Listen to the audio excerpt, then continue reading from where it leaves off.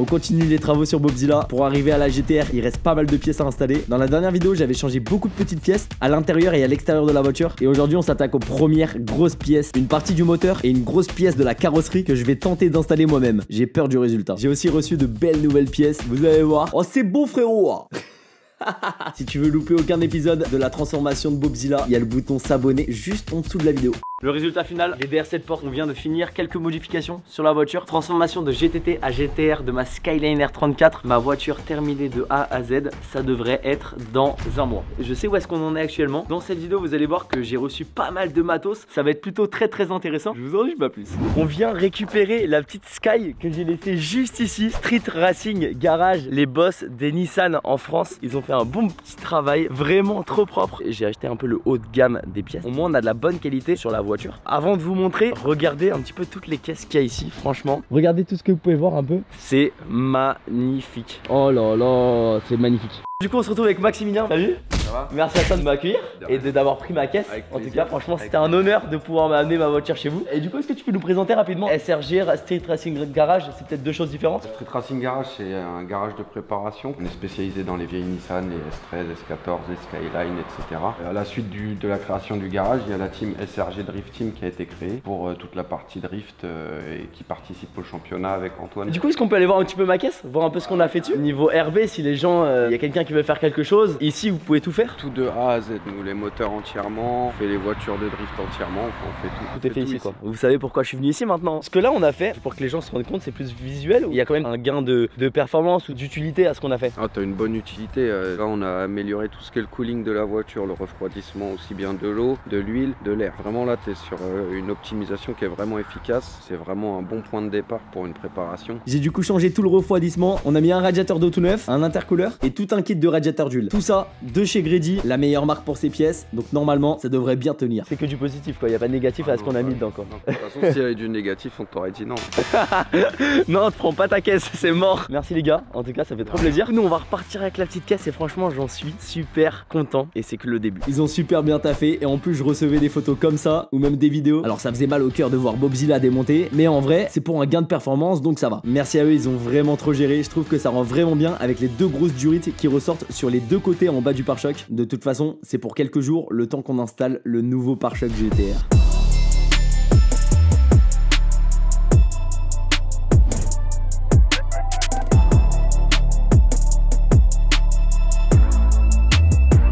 On vient de recevoir un joli colis. Du coup, je vous avoue, je sais pas du tout ce que c'est parce que je me rappelle plus du tout. On va déballer ça ensemble et ensuite on va aller les installer. Ah ouais, colis dans un colis. Est-ce que les fans automobiles, vous avez reconnu la pièce principale, donc ce qui fait la taille du carton, c'est pas une pièce qui va être utile, c'est plus une pièce esthétique. Est-ce que tu penses que c'est un volant?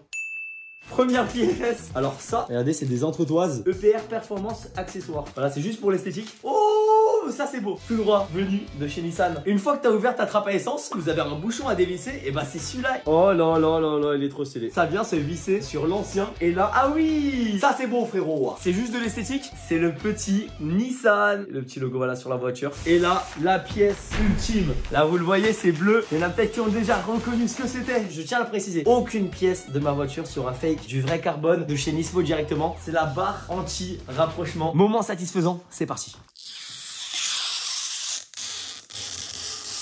Oh non, ça a fail Dites-moi ce que vous en pensez. Du coup, maintenant, j'ai hâte de voir ce que ça va donner sur la Skyline. C'est parti, maintenant, on se retrouve pour les installer sur la voiture. Let's go On est parti pour installer les deux pièces que vous avez vues, du coup, qu'il y avait dans le colis. EPR Racing, ça, je sais pas du tout où ça va. Ça, c'est pour le, c'est pour la barre anti-rapprochement. Elle est là, bam, en métal. Dites-moi dans les commentaires, à votre avis, de quelle couleur je vais faire ma Skyline Oil Slick, donc la même couleur que la voiture. Bleu, verte, orange. Regardez, c'est le beau bouchon en métal, du coup, qui va aller là.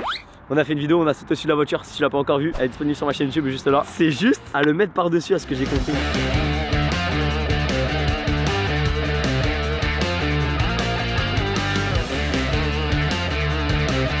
Tu filmes pas là Non, non, t'inquiète, ça c'est éteint là.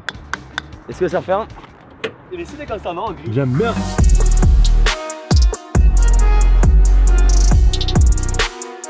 Ok, comment on ouvre maintenant le capot? Non, je pense que tu veux me piéger, c'est un bouton. Introuvable. Introuvable Ok, un indice, tu le vois pas. Je le vois pas Oui Antoine, tout dans la caisse au dessus. Ok, on va faire la même chose de l'autre côté. Me dis pas, il y a que 4 vis à faire. Me dis pas que c'est aussi simple que ça. En fait, le boulon, s'il tombe en dessous et qu'il arrive en dessous de la boîte moteur, je galère à aller le chercher. Est-ce que ça part tout seul? Ah bah, mais mec, y'a rien de plus simple. Mais c'est incroyable. Ah, ça c'était pas prévu ça. Qu'est-ce que c'est que ça? Oh. Oh Et ça y est. Je pense que ça va comme ça, mais il y a toujours un truc qui va pas. Regardez, pourquoi là il y a une pièce qui n'y avait pas sur l'autre? La nouvelle, la bleue, il y a un truc. Oh là là là là. Ah, c'est pas facile, mec, le bricolage. Hein. C'est vraiment pas facile, ouais. Le bruit, on aurait dit que tu l'avais cassé en deux. Ouais, j'avoue.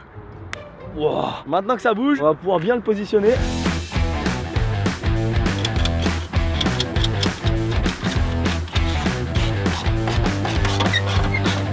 J'ai resserré la petite vis qui est juste là, que j'avais desserré pour, que- pour pouvoir bouger les deux ailes sur les côtés.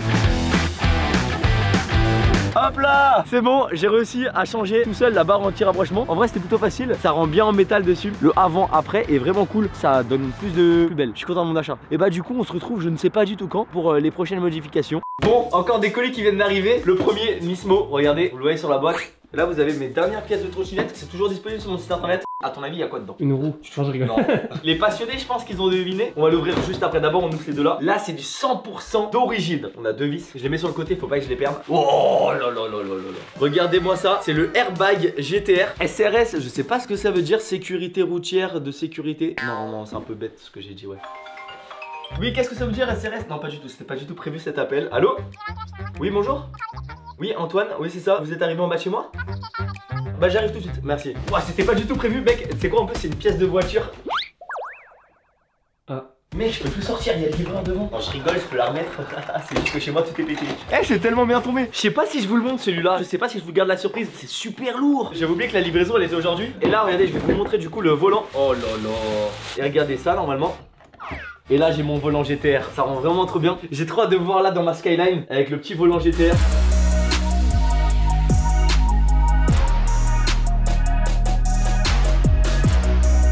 Je laisse là en évidence parce qu'il est vraiment trop beau. À tout moment, si tu veux, tu peux revenir sur lui pour faire des plans. Comme là par exemple, regarde. Maintenant, on va passer à ce carton. Regarde, tu peux même repasser maintenant. Voilà, je suis grave un forceur.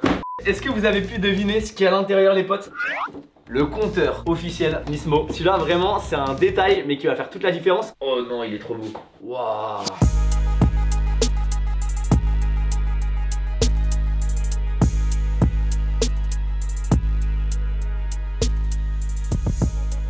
Il est vraiment beau avec tous les circuits électriques comme ça là. Du coup, les différences avec mon compteur, c'est quoi? Les nombres de tours par minute, je crois que c'est pas les mêmes. Là, ça monte jusqu'à 10. Le rupteur, la zone rouge, on voit que c'est à 7500 tours par minute. Et surtout, regardez, il monte à 300 km/h. Moi, ma voiture actuellement, le compteur monte à 180. Bientôt, on va monter du coup le volant et le compteur, ça, on va les mettre bientôt sur la voiture. Je le ferai faire par quelqu'un, je sais pas encore. Ah, c'est super lourd de ouf Ça les potes, quand je vous dis que c'est une dinguerie, c'est que c'est vraiment une dinguerie L'utilité de ça, quand je vais vous le dire, vous allez bégayer. On se retrouve dans une prochaine vidéo sur la voiture. J'ai vraiment trop hâte de voir ce que ça va donner. On se retrouve dans le jardin d'un pote pour modifier ma Skyline, c'est parti. On se retrouve chez Baptiste qui va bientôt avoir une... Oh, ma soeur, ma, ma soeur, ma soeur Suivez un petit peu la chaîne YouTube parce qu'il va s'acheter une belle voiture. Du coup on se retrouve dans son euh, merveilleux euh, garage Et surtout c'est qu'elle a un truc très spécial. Un petit truc qui, qui est pratique. Aujourd'hui, on va changer le pare-choc arrière. On va enlever le GTT et mettre le GTR qui est juste là-bas. On va vous montrer. Il me recouvre, je crois. Il est énorme. C'est ce qu'on appelle un OEM d'origine d'usine de la marque. Donc ça veut dire que ça vient directement de chez Nissan. Sur la mienne, par exemple, il n'y a pas Skyline ici. Le truc spécial, c'est le trou pour travailler sur la voiture. Ouais, j'ai jamais vu le bas de ma caisse, mec. C'est la première fois. En vrai, bah c'est un bas de caisse quoi. Vous allez voir du coup la différence. C'est parti, on va s'attaquer au démontage du pare-choc. Ça, c'est en deux secondes, c'est des petites vis. Par là, je dois décrocher des vis. En dessous, il y a deux trois vis à démonter. Faut enlever la plaque et c'est bon. En vrai, c'est pas hyper compliqué en soi. Des fois on dit ça, c'est compliqué alors. Ouais, j'arrête de parler, je pose la caméra. Allez, c'est parti, regardez, vous avez un beau plan de la voiture. Let's go. Tout ce qui protège la voiture, là, on est en train de l'enlever. Donc c'est très simple, tournevis, je tourne un peu que ce soit comme ça. Et après, hop là, ça s'enlève. Et je fais ça pour tout.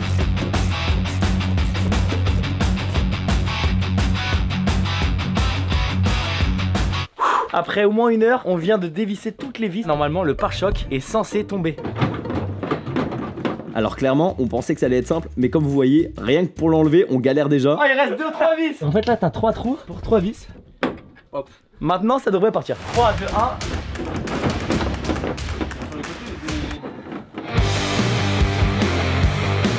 Let's go Regardez, j'ai acheté euh, les feux arrière. Celui-là, regardez, il est en LED, il est tout neuf. Et les anciens, c'est ceux-là. et c'était en ampoule euh, classique. Donc ça va juste ici et ça va beaucoup mieux éclairer. Après, j'ai l'impression que c'est la même forme en soi. Bon bah, let's go Let's go. C'est parti, go monter le nouveau.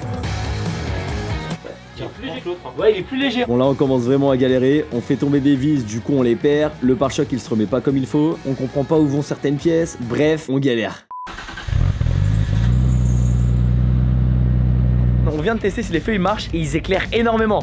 Waouh Mec, mec, il est ultra puissant, mais les deux ils sont puissants de ouf. Celui-là il s'allume toujours bien. On est plutôt pas mal, tout fonctionne. Je sais pas si vous voyez bien, il est 20h30. On vient enfin de tout terminer. Ça nous a pris 3h30, 4h. C'est pas une très grosse diff de la voiture, mais au moins, le nouveau pare-choc, il est monté. Putain, j'avais vu des vidéos, les mecs ils faisaient ça en 2 secondes. Et ben au final, que des galères.